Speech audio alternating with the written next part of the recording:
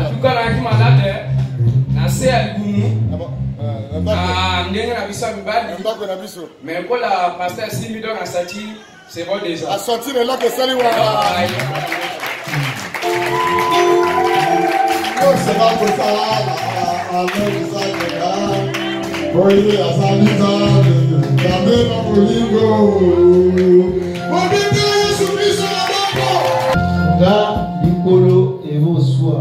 esuwaka nga gome namonaki paster ayakaki vendredi nayakaki awa nabeli pastna aprie na nga nakie ndako navolala bien te nakoma oprie lowa nakoma olala mwabe siko likolo yango ezalaki na pota pota wana eyomaka te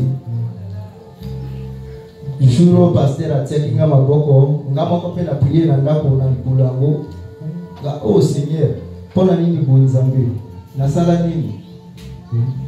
Hmm? lelo il même là, 5 jours pour t'apprécier.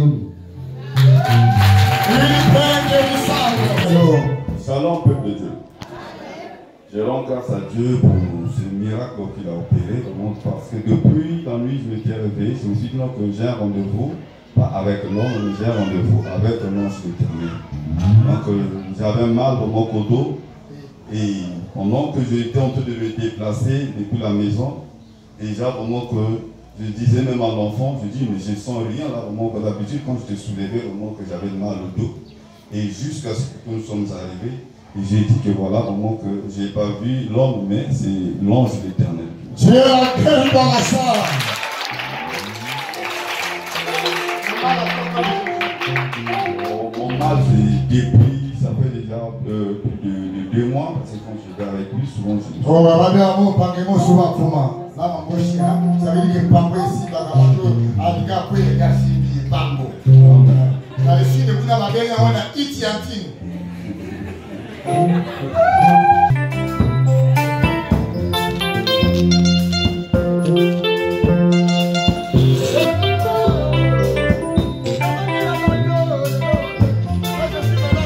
la musique.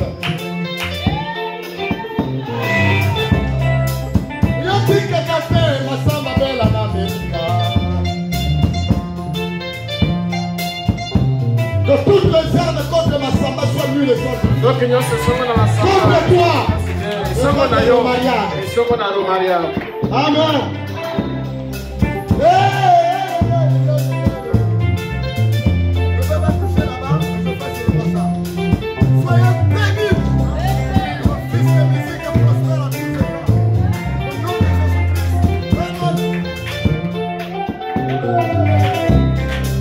oyotikaka te lobeli bazokaka malali aleluya e eh. mokonzi na biso elonga